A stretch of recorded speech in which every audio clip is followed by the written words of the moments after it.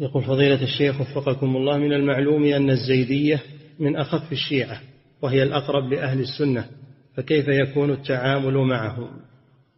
نتعامل معهم نتعامل مع المباحات ومع التجارة والأمور نتعامل معهم. نعم.